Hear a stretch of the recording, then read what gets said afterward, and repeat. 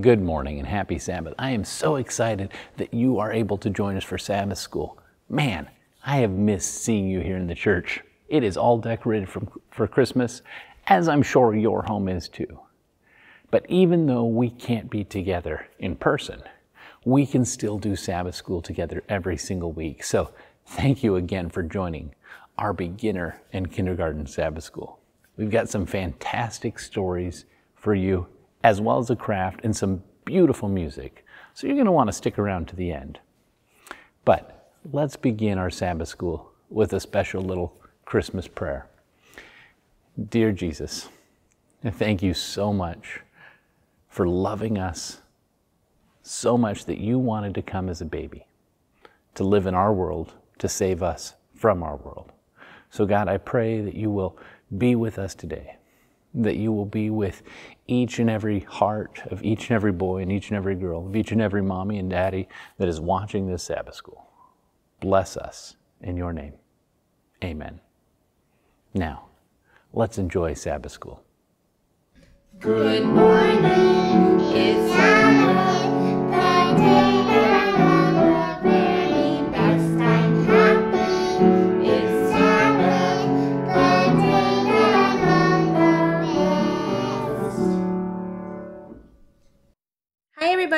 Happy Sabbath. We're here with a Christmas story for you, told by Lana. See Joseph and Mary, they've traveled a long way and they want to rest.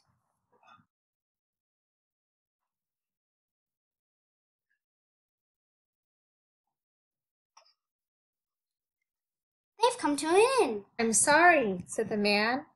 All my rooms are full.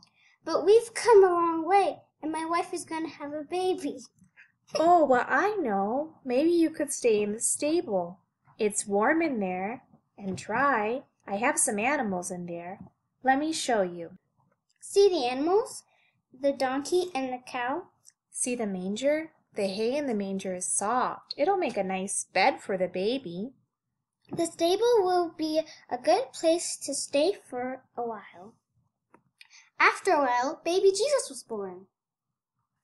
Let's put our baby on the soft hay in the manger, says Joseph. You should rest a while. Mother Mary looks at her new baby boy.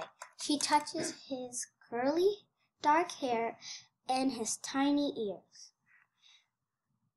She loves him so much. Come, said Joseph.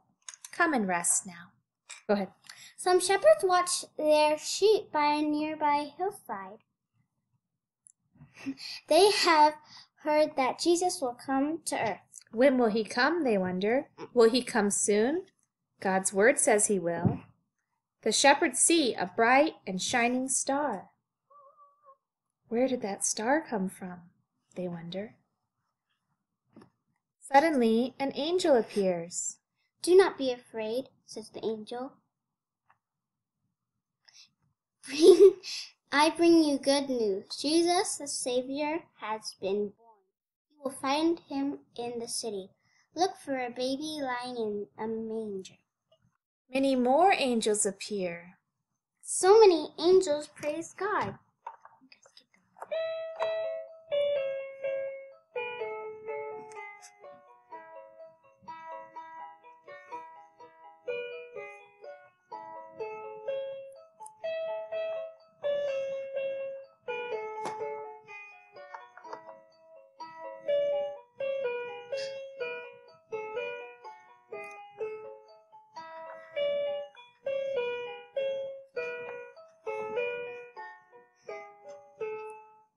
We must go, say the shepherds. We must go to the city and look for this baby.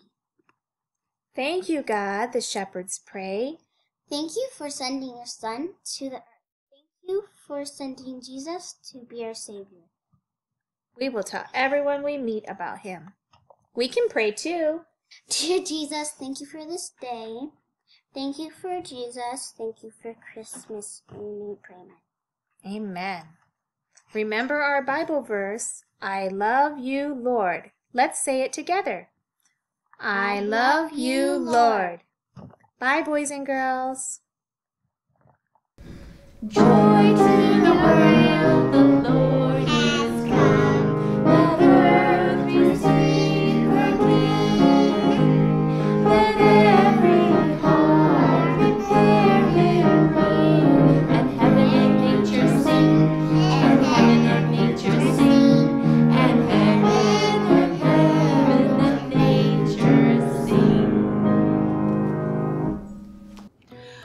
so glad you could join me again this Sabbath for another Bible story because the stories we're learning about now are my favorite in the Bible because it tells about God's special gift that He gave us. In fact, that's our memory verse today. Our memory verse says, Every perfect gift is from God. James 1:17. I want you to listen really carefully to the story and let's see if we can figure out what that perfect gift is. Do you remember last week in our lesson we learned about Joseph and Mary and that Mary was very special and that God had chosen her to be the mother of his son? But you know what? Joseph and Mary lived in Nazareth, and the clues that God had given us from the very beginning of the Bible said that his son would be born in Nazareth. So God had to have a way to get Joseph and Mary from Nazareth to Bethlehem. So you know what he did? He used the ruler, Caesar Augustus. And Caesar Augustus made a law that everybody had to go to the place where they were born to pay taxes and to count them so he knew how many people he was ruling over. So he had to go from Nazareth to Bethlehem, and it was about a 100 miles. And it took them days to walk there because they couldn't go out and get a bus or get in their car or ride on an airplane. They had to walk. Can you imagine all the commotion in Bethlehem when they got there? There were merchants trying to sell spices, and there were people trying to find people to stay in their motels, and there were priests and rulers walking all over in all of this commotion. And in all of this, Joseph was trying to find a place where he and Mary could sleep. You know, we're told that he went to every place in Bethlehem and nobody had room for him except for the very, very last place. And he let them stay in the stable, in their cave underneath their house. Can you see a picture of Joseph and Mary on their way? They look pretty tired, don't they? But when they got into the cave, something very wonderful happened. What happened? That's right, Mary had her baby. And she wrapped him in swaddling clothes and she lay him in the food dish. They were so excited, but nobody else knew that they were there. The merchants didn't know, and the innkeeper didn't know, and the priests and rulers didn't know. But God had somebody watching over them. In fact, God had had special angels watching over them the whole time, all the way from Nazareth to Bethlehem and all through the towns of Bethlehem. And now the angels had very quiet and reverently watched as their new baby king was born. And you know what? God told them, now you can finally go tell everybody that my son is born. And the angels were so excited. Do you know what the angels did? The angels went to where the merchants were. But you know what? The merchants were so busy counting their money from all the things they had sold, they weren't even looking for baby Jesus to be born. And the angels went to the innkeepers. And the innkeepers were busy trying to find food and places for everybody to sleep. And the priests and rulers were so busy they weren't looking for baby Jesus either. You know, I think that must have made the angels very, very sad. But when they flew out over the hillsides of Bethlehem, do you know who they saw? They saw shepherds, and the shepherds were taking care of their sheep. Can you see if there were lots and lots of shepherds there? And there were lots of sheep all around them, and they were all getting snuggled in for the night. But you know what? They were doing something else besides just watching their sheep. They were talking about all of the promises and the clues that God had given them that baby Jesus would be born soon. They says, "Do you remember? They said that he would be born in Bethlehem. And the time is just about right. And does God keep his promises? Absolutely. If God promises something, we know that God always, always keeps his promises. And now the angels were so excited, they had found somebody that was looking for baby Jesus. And all of a sudden, there was a bright light in the sky, and the shepherds covered their eyes and they were so afraid. But out of that bright light, they heard a beautiful voice. And you know what the first thing the angel told them? Don't be afraid. He knew that they were afraid. He knew that they had never seen angels before. And he says, I have something wonderful to tell you. Tonight, baby Jesus was born in Bethlehem, not very far away, just like the Bible scrolls tell him. And he says, You know what? God's going to give you one more clue, too, to make sure that you find his special son you are going to find him laying in a manger in a food box for animals, and he is going to be wrapped in swaddling clothes. Swaddling clothes are lots and lots of strips of clothes that they wrap around and around and around somebody. And you know what? The angels could not wait a second longer. They had waited for hundreds and hundreds of years, and now they just couldn't wait. And suddenly the whole sky was filled with angels. Oh, now what do you think the shepherds thought? Do you think the shepherds were excited? I think they were really excited because now they had gotten used to the light of the angel and they knew that they didn't have to be afraid because God had sent the angels to tell them something special. And the angels were so excited, they started singing. And you know what they sang? They sang, Glory to God in the highest, and on earth peace, goodwill to all people. Isn't that a wonderful thing for them to sing? And they sang the song with all of their hearts because they were so happy. They loved Jesus so much. And they were so glad that the shepherds loved him too. And you know what? As quickly as they showed up, they left and the sky was dark again. Oh, I would have loved to have been with the shepherds there and to hear, hear that wonderful song that the angels sang. Don't you think that would have been fun? Do you think you would have gotten up and run to try to find baby Jesus? I think I would have, but we're going to have to listen to our lesson next week to see what they do. You know what? Do you remember our memory verse? It's every perfect gift is from God. So, do you remember where God sent a perfect gift in this story today? Yeah, it was in baby Jesus, wasn't it? And do you think?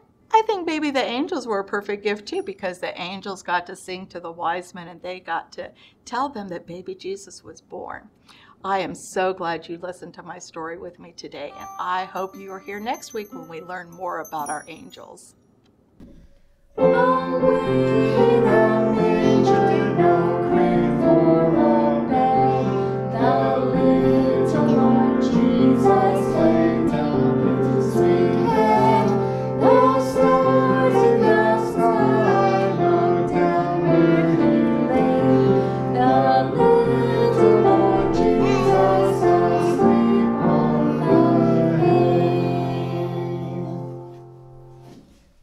I'm so glad you joined me for our Bible story today. Do you remember we learned about the angels that came and told the shepherds that baby Jesus was going to be born? And the craft we're going to make today is an angel. Can you see it up here? Oh, this is going to be really easy, and I think you're going to have fun doing it. We're going to take three skeins of embroider floss like this, and then we're going to take one of them and we're going to make four strings.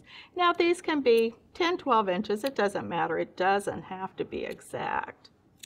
So we're just going to cut them off. Here's three, and here's the fourth one. And then you know what we're going to do with all the rest of these?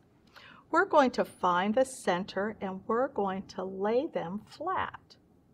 Now, when we do that, it's actually easier if we take it and we cut. So it's like this. See, so we're just going to lay them really flat like that. If you look really carefully, you can see the center right there. And we're just going to open this one up and we're going to cut it again, just like we did the first one.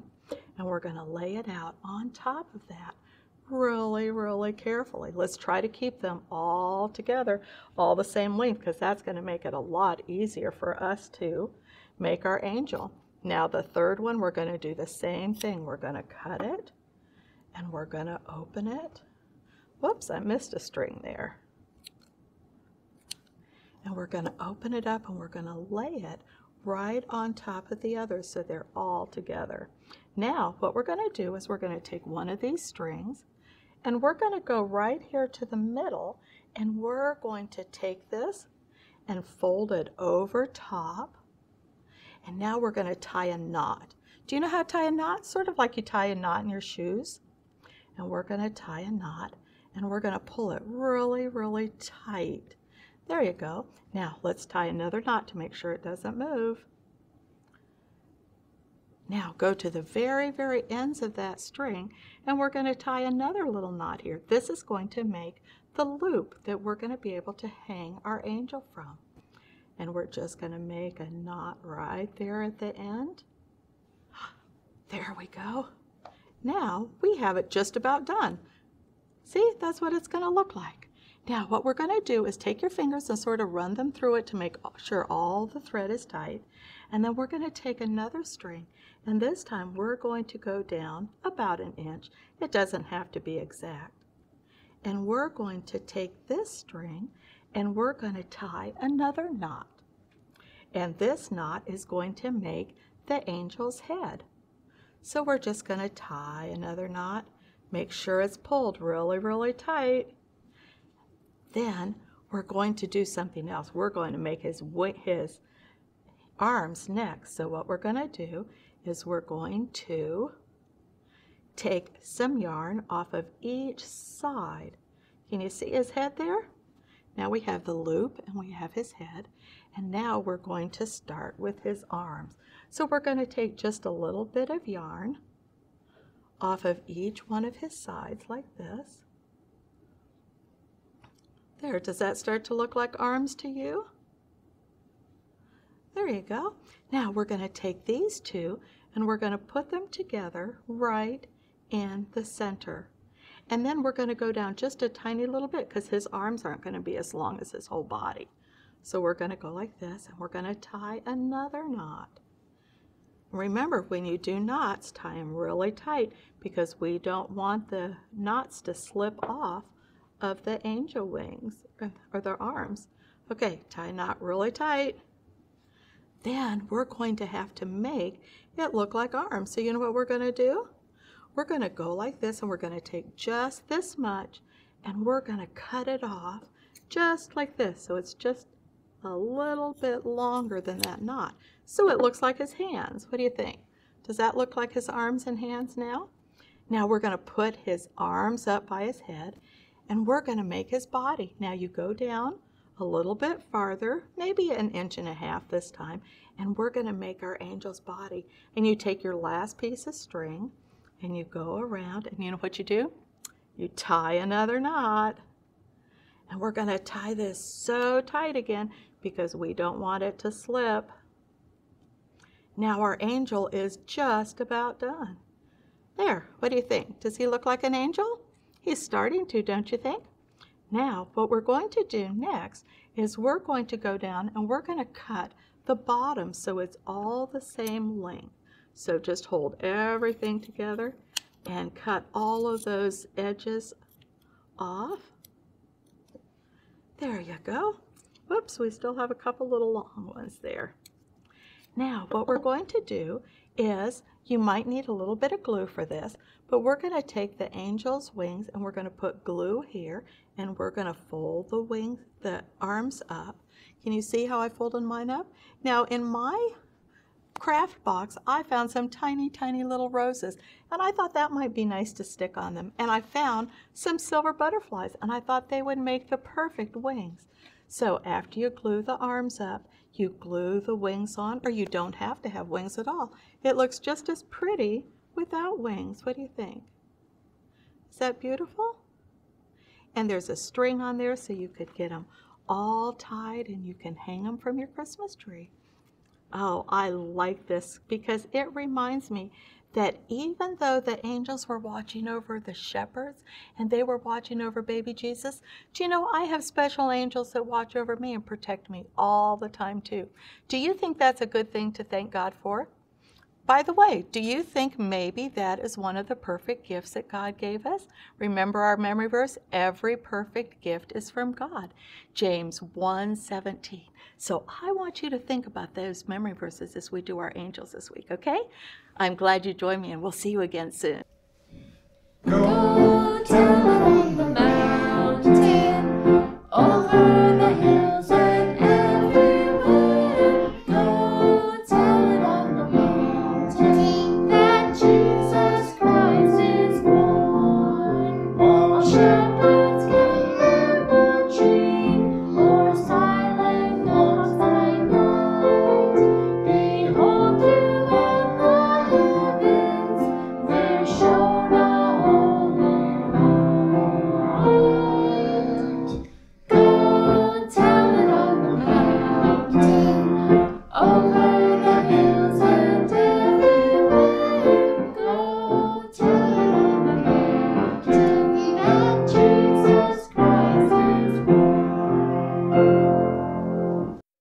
again for joining our Sabbath school. Now, I don't know if this is your first time joining us or if you and your family have been joining us absolutely every week, but I am glad that you've joined us here today. Now, as we are enjoying our Sabbath time together, I want us to think about some of the things we've gained and some of the things we've lost during this pandemic. We've gained the ability to do church and Sabbath school in our pajamas, and that's no small thing. But one thing that we have definitely lost is our community and this connection we feel when we sit next to somebody in church. Another thing that we have definitely lost is our ability to teach our kids about church in person. It makes it a little bit tricky. I mean, for instance, although I am thankful for online giving because our giving has actually remained the same this year, which is incredible. That means that all of you parents who are watching, you have been giving consistently, although there has not been a plate passed in front of you. One thing I don't like about online giving, though, is our kids don't see it. It makes it a little bit difficult to teach our children how to give their tithes and offerings because they don't see that week after week. They don't witness it happening. They don't anticipate that as a part of church, as a part of what it means to be a member. And so I encourage you, you would have gotten one of these in the mail or somebody dropped one off, if, especially if you're here in Berrien Springs. We gave this to each and every one of our families that attend Sabbath school here. And if you didn't get one, let me know. And I would be happy to find a way to get you one of these. But these are special tithe and offering envelopes designed for kids. Take this opportunity, make this a teaching moment where you can sit down with your kid and show them, hey, this, this is how you fill this out. This is how you give back what is God's to Him. And I want you to think about what is a gift you could give God this year to help continue these Sabbath schools as we move forward. Because honestly, when are we going to meet again in person? We're not entirely sure.